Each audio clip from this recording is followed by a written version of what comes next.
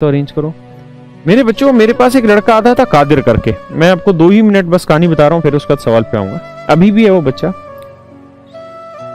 और कादिर खान वान कुछ नाम होगा, आगे मुस्लिम बच्चा था वो।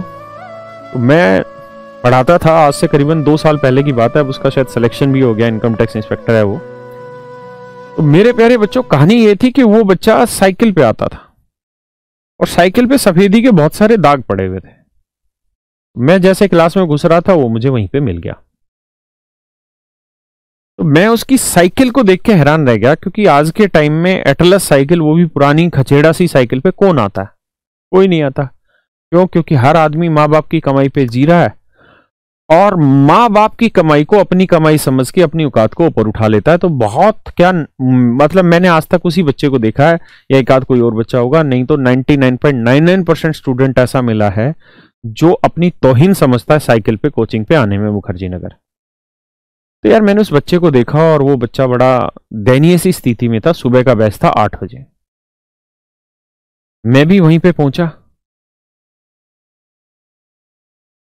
तो मैंने उस बच्चे को देखा यार, देख के मेरे को बड़ा बुरा सा महसूस हुआ कि यार ये बच्चा तो सच में कोई ना कोई दिक्कत में है। तभी इतनी साइकिल पे आ रहा और दाग वाग से है और बच्चा थोड़ा सा मतलब साफ़ सुंदर सा दिखाई नहीं दे रहा था। साफ़ सुंदर का मतलब ये नहीं कि रूप का। साफ़ सुंदर का मतलब नहाया धोया उस टाइप का नहीं दिख रहा था। मैंने बात करी, मैंने कहा, बेटा, क्या क्या काम करता है? तो फिर उससे बात हुई पाँच एक मिनट तो पूरी कहानी मैंने पूछी कि ऐसा क्या है कि बेटा तू ऐसी अवस्था में तो उसने बताया कि मेरे फादर साहब, शायद उसने कुछ ऐसा बताया कि माँ बाप में से कोई होगा नहीं। और चाचा ताऊ वगैरह जो होते उन्होंने मुझे पाला पूछा है तो अब मैं अपने भाई को, छोटे भाई को दिल्ली लेके आ गया हूँ मुखर्जी नगर। तो अब मैं खुद कोचिंग कर रहा हूँ और छोटे भाई को स्कूल में पढ़ा रहा हूँ मुखर्जी नगर में। तो खर्चा पानी कैसे चलता है? तो सर, एक रुपए की कोई मदद नहीं करता।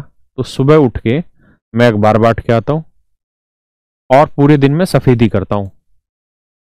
सफ़ेदी जो मजदूरी होती है ना, पेंट वेंट वाला काम, ये काम करता हूँ।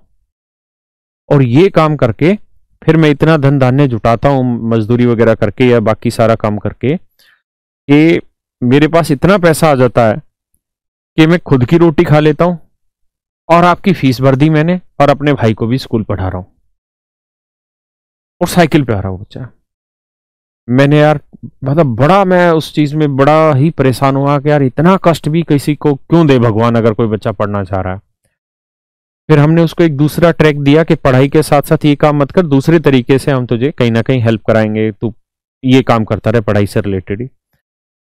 मेरे प्यारे बच्चों, उस दिन मैंने एक चीज़ ये सीखी कि अगर आप गरीब हैं, अगर आप गरीब हैं और आप पढ़ना चाहते हैं तो आप ये बहाना नहीं बना सकते कि मैं गरीब हूँ, इसलिए मैं चोरी करके पढ़ूँगा, क्योंकि मैं गरीब हूँ।